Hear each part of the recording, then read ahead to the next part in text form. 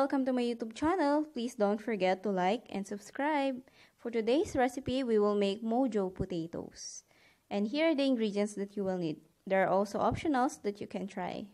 Thank you for watching and enjoy!